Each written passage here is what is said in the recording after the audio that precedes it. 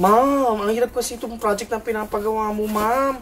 Hindi ko po matapos-tapos. Tingnan mo muna, pati yung description! May description po ba dito, ma'am? Saan po dito, ma'am? Ay, ito. Sorry, ma'am. Pero ma'am, sinundan ko naman po yung tutorial na video. Basahin mo and obviously you didn't. And obviously you didn't listen to the whole fucking video! Ayan, ma'am. Hindi po kasi siya nagbabasa ng description. Sinabihan ko na po yan, panoorin ng buo yung video. Panay kasi TikTok videos ang pinapanood niyan, ma'am. Hoy, grabe. Pinanood ko ko, hindi ko lang tinapos. Doon ka lang nakatutok sa bandang huli ng video yun. Ay, opo ma'am, doon nga po. Sorry po ma'am. Ah, basta ako ma'am. Tapos ko na po yung akin.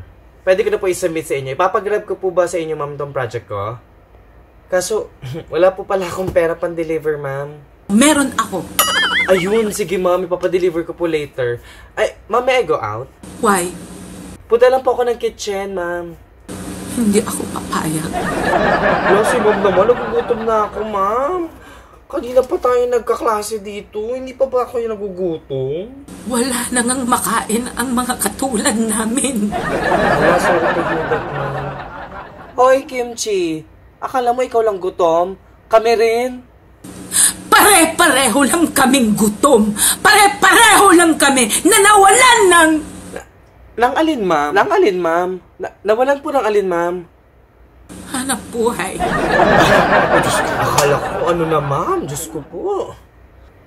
Sige na, ma'am. Mabilis lang ako kuha ng pagkain. Tatakbo na ako ngayon, ma'am. Sana pag tumakbo ka, sana makuha mo lahat. Sana nga, ma'am. Wait lang po, ma'am. ah. Wait lang po. Ay, ma'am. Kapag natapos po tong project na to, ah, sino po ang magbibigay ng final judgment po na to?